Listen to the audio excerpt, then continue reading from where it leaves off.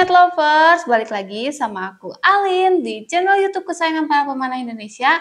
Apalagi kalau bukan di Vinet Aceri Official. Nah, Vinet Lovers di video kali ini aku mau membahas tentang tradisional bow ya. Nah, buat kalian yang penasaran sama videonya kayak gimana, tonton video ini sampai habis ya. Tapi sebelum aku mulai masuk ke videonya, jangan lupa diklik tombol subscribe-nya dan nyalakan lonceng notifikasinya supaya kalian gak ketinggalan video-video terbaru dari Vinet Aceri Official. Nah, Vinet Lover, sebelum aku ngejelasin apa itu tradisional bow, ya kalian juga harus tahu kalau misalnya tradisi panahan di setiap negara itu berbeda-beda ya, Filov. Tergantung perkembangan kebudayaan dan peradabannya masing-masing. Secara umum, ada dua tradisi panahan di dunia, yaitu tradisi barat dan tradisi timur. Kalau di tradisi barat seperti tradisi Romawi dan Yunani, kalau di tradisi peradaban timur ada tradisi peradaban Semit dan Mesir.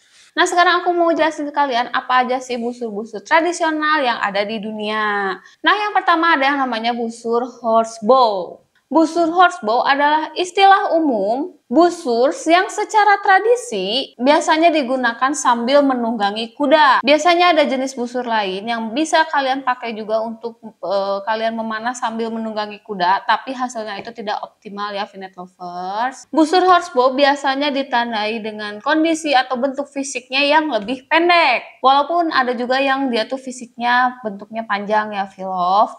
Nah biasanya si horsebow ini terbuat dari kayu atau bambu Nah, si horsebow sendiri itu terdiri dari tiga bagian, yaitu ada handle atau pegangan, terus yang kedua itu ada lengan atau yang biasanya kita sebut dengan limbs, dan yang ketiga itu ada yang namanya sinyah ya, Vinet Lover. Sinyah ini adalah bagian keras di ujung busur yang berfungsi untuk mengaitkan string kalian.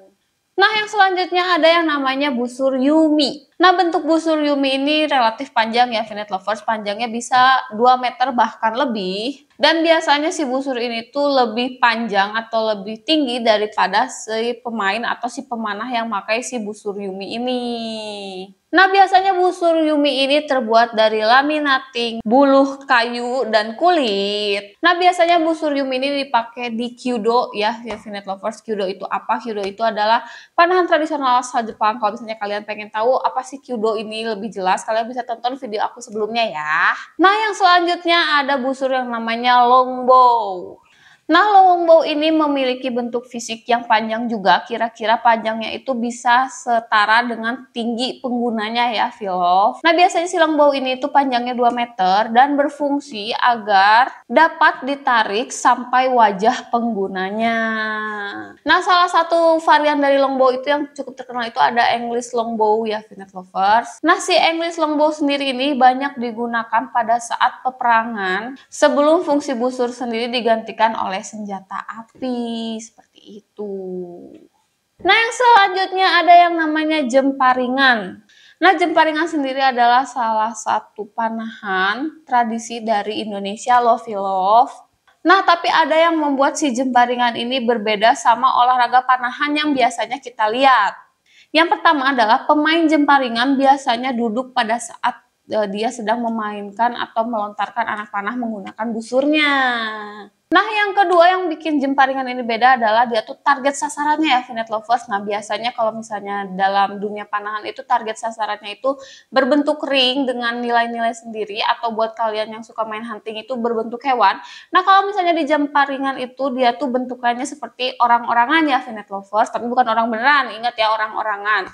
Boneka yang dibentuk sedemikian rupa sampai menyerupai orang-orangan. Nah, yang terakhir yang buat jemparingan beda adalah busana yang digunakan ya, Finet Lovers. Nah, biasanya dalam perlombaan jemparingan, para pesertanya itu menggunakan baju tradisional Jawa yang lengkap ya, Filov. Nah, kita lanjut ke busur yang berikutnya. Busur yang berikutnya itu ada yang namanya flat bow. Nah, busur flat bow ini hampir tidak melengkung ya, Filov limbsnya rata dan penampangannya relatif lebih besar. Nah, tapi flat bow masa kini justru e, banyak yang lebih mirip dengan longbow versi klasiknya seperti itu. Nah, yang terakhir ada yang namanya short bow. Nah, busur ini tuh jenis busur yang dimensinya itu lebih kecil daripada longbow dan flat bow ya, Philov. Nah, tapi kelemahan dari busur ini adalah karena dia dimensinya yang pendek, dia itu tidak bisa panjang daya tariknya karena busurnya pendek. Efeknya adalah jangkauan dari anak panah yang dilesatkan juga cukup pendek.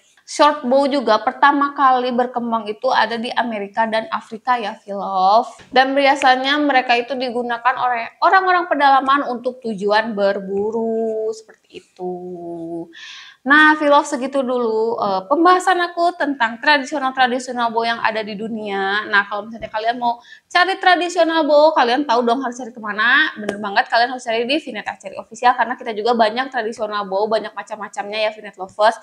Nah, kalau misalnya kalian mau tradisional bow-nya gimana sih caranya, kalian tinggal langsung aja hubungi nomor admin di bawah ini atau kalian juga bisa langsung aja check out di e-commerce kita yang ada di Tokopedia, Shopee, sama Bukalapak kita ya. Atau kalau misalnya kalian mau cari tradisional bow sambil konsultasi ini kalian baru mau mulai main panahan di tradisional bow, terus kalian mau konsultasi gimana sih cara pasang string di tradisional bow, karena tradisional bow itu cara pasang stringnya beda ya. Kalian bisa langsung aja datang ke store cabang kita yang ada di Bandung, Jakarta, dan Solo. Atau kalau misalnya kalian mau cek katalog harga lainnya, kalian boleh langsung aja datang ke link di bawah ini. Nanti linknya aku taruh deskripsi juga ya. Dan jangan lupa juga untuk follow Instagram kita di @vinetarseriofficial karena di Instagram kita juga kita bakal bagikan hal-hal menarik seputar dunia panahan. Nah, Vinet Lovers segitu dulu video aku kali ini. Buat kalian yang suka sama videonya jangan lupa ditekan tombol like. Jangan lupa juga buat kalian komen kalau misalnya kalian punya requestan aku harus bahas barang apa, nge-spill barang apa, atau kalau misalnya kalian punya pertanyaan seputar dunia panahan ya. Dan jangan lupa juga share video ini ke teman-teman kalian.